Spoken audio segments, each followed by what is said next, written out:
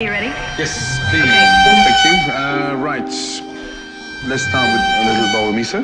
Okay. And um, Akira mentioned the sushi pizza. He recommended that? Yeah.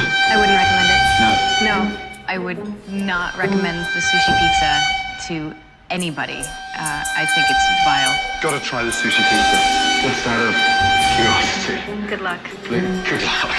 Um, the Green Tower, that sounds nice. And then let's end up with a little bit of the salmon, sashimi. I think that'll be enough. You got some of the best and some of the worst. Thank you. Thank you. Excellent.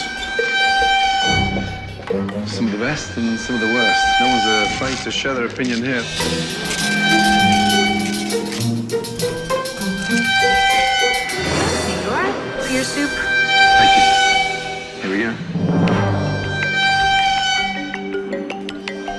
Miso soup didn't taste very fresh. It's not actually very hot either. Oh, he's talking now. Somebody should go listen to what he's talking about. Thank you. Chef, your green tower? Thank you. Man, that's very salty, that. Does that? It is. Yeah. Is that normal? Yeah, that's normal. Thank you. Thank you.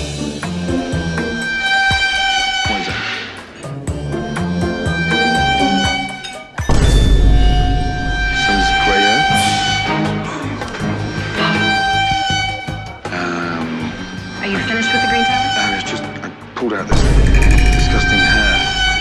Yeah. Yeah, I've definitely finished with that. Sorry. I just wanted to just die, bury my head in the sand when that happened. Um, guys, there's a hair in the green tower. You gotta be kidding me. It's always like a running joke, like, oh my god, there's a lot of things going wrong. So Akira disappears. Your sashimi. Thank you. You're welcome. Lovely. And is the salmon fresh? Yes, it is. Thank you. John, the salmon is fresh, right? Frozen.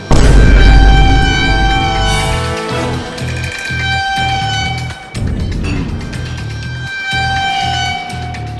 It just tastes like it's frozen.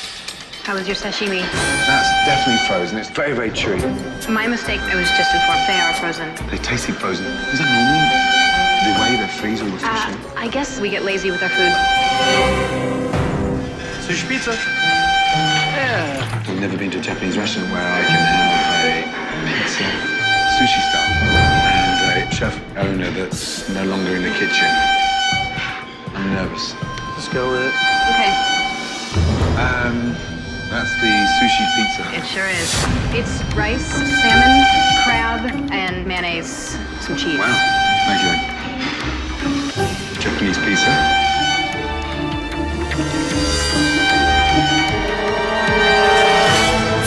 Sorry. That is rancid. You were right. That is an insult to pizza yeah? and Japanese food. Chef had fair warning that it was going to be terrible. Hmm. I told him not to get it.